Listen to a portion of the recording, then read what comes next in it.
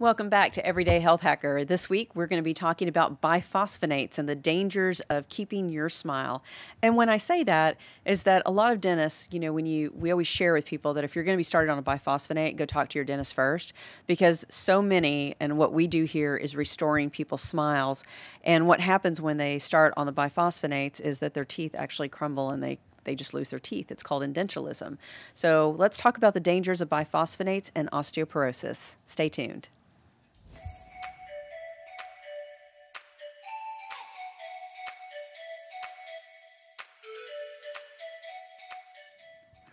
Welcome, everybody, to another edition of Everyday Health Hacker. I'm Mike Herzing, along with the awesome Dr. Liza Leal. Hi, Mike. How are you? I'm awesome. I tell you what, Hey. this is interesting. This is uh-huh. something we're going to talk about, and I like it. Dr. Liao is Chief Medical Officer right here at Meridian Health Institute in Sugarland, Texas, where everybody wants to be, although it's a little rainy this last couple of weeks. Yes, it has been, but we need the rain.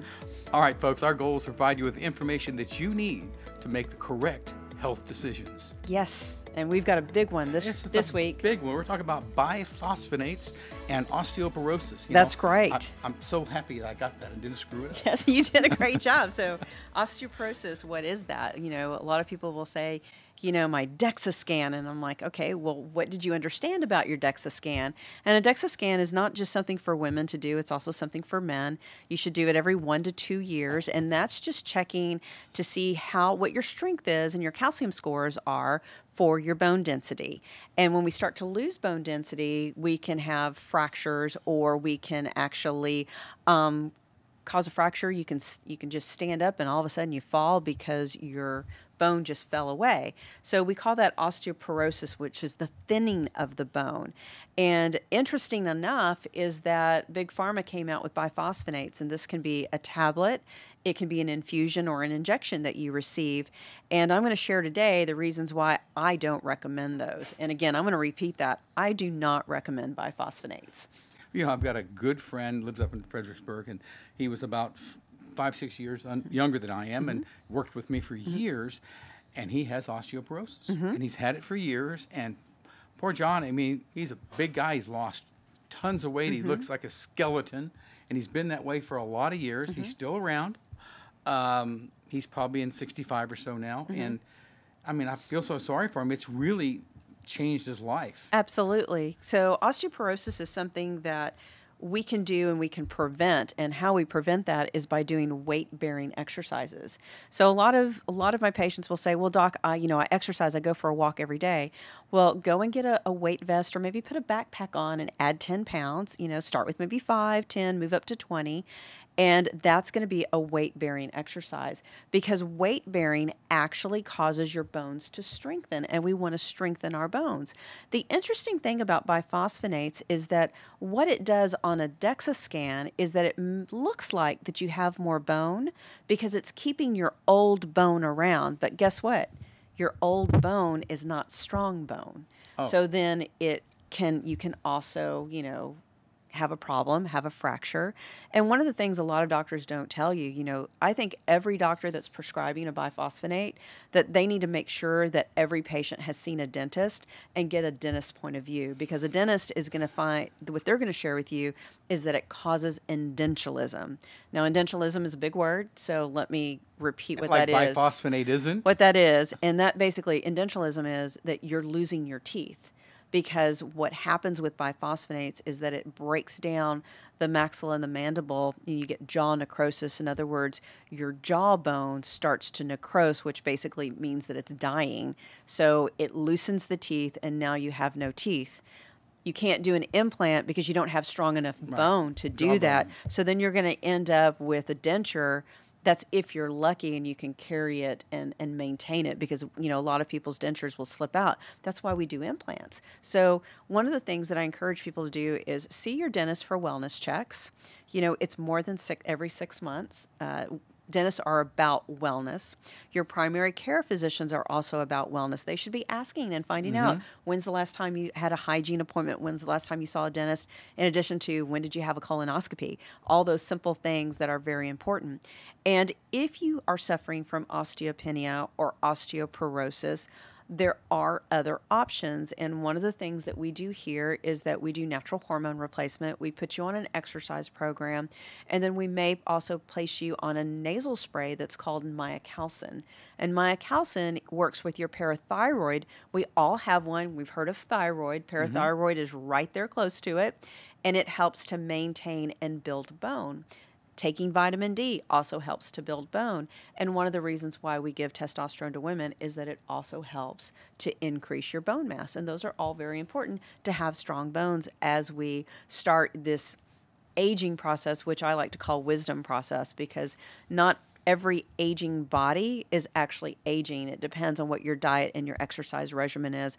And you know, and I'm here to fight it. I'm having another birthday next week and we celebrate all month. And what we do is that we get into a new nutritional plan, we do new exercise programs so that we can not only encourage our patients about what we're doing in our mid 50s and 70s here at, our office, mm-hmm. is to help us feel better and be strengthened so that when we reach our 70, 80s, we're not dependent on a walker or something to help us to aid in mobility. We want to be out there doing the things that we love with our grandchildren. Okay, now let's say we're just normal people and we're mm-hmm. in our 60s. Mm-hmm uh, which would have been nice. Mm-hmm. But how do we know that? How do we say, well, okay, I should check and see if I have osteoporosis? Absolutely. Or, or do I? Do I, is there a symptom? Is it my bone hurts? So your bones what, may what be achy. You know, a lot of people will say, you know, well, that's just arthritis. I'm achy, or I'm just aging because I'm achy. Well, I want you to change the mindset, which we're going to be talking about would, in, would another podcast. Your bones podcast. hurt or your joints hurt? Your bones and joints might hurt. However, they might not. So that's the reason Good. why during your physical exams, they should be ordering a DEXA scan so that we can see what your bone density actually is. Because there's a score to it, a score that goes to it, and we call it a T score. And we want a good T score. Do, do, insurance companies usually pay for this? Scan? Actually, that is something that insurances usually pay for it. However, it's something that's very affordable. It usually runs less than 150. I see oh. it mainly at about $100 for the for the scan. Okay, now the, this medicine that they, they seem to give out that yes. help people with the hips and things and, like that, in case that, that, has these horrible side effects. Side effects of now, losing your teeth and losing Pharma, your smile. You think that maybe think there's, in my opinion, uh-huh. there may have had put a lot of research into this and said, "Oh, it's got these really horrible side effects." But why don't we sell this anyway? you know, um, there are patients that have come in and as soon as I see one of those medications, I inform them, I educate them.